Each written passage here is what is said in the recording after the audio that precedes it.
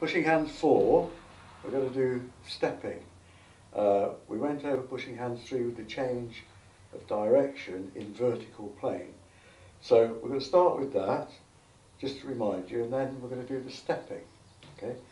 So just going to do pushing hands three to start with. Here you go. So this is where we change over come back. Now at that point you'd step back to enhance the pull. So we're going to actually change to pushing hands four now, which is I step back and then walk forward.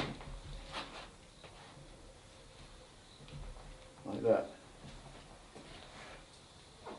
Now with pushing hands four though, it's actually better for me to have the opposite foot to Vince because we actually, believe it or not, we actually end up doing the same thing then.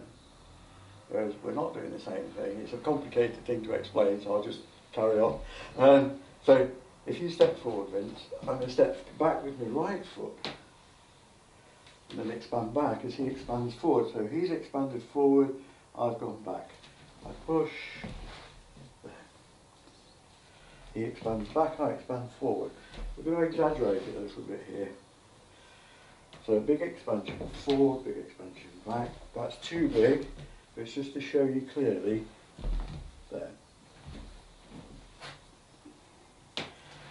You can do it at various depths. Um, so I'm doing small steps at the moment. I'm going to do a bigger step.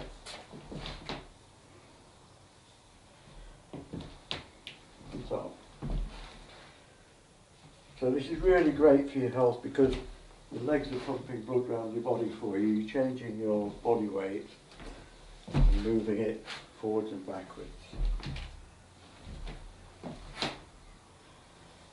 Now we've got rather a complicated uh, changeover now because what I'm going to do is change it to the other side. Okay, we're going to now do the change of sides. In other words, Vince will start with his right. We're going to do three rounds, which I'll explain what a round is in a moment.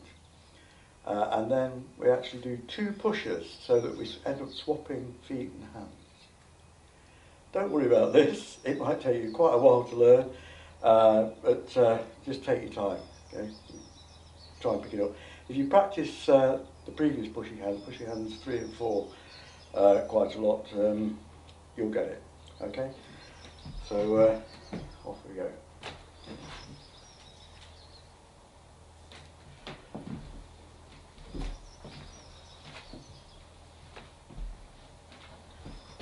So that's the third round, this is the third round, so now I'm going to push twice. Both towards this head.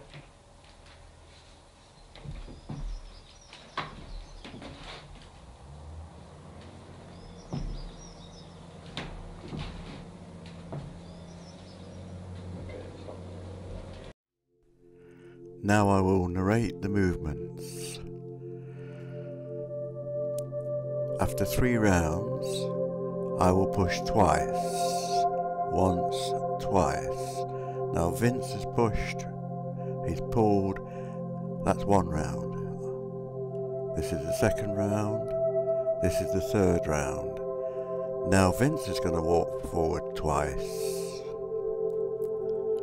And again, we do three rounds. That's one, two, three.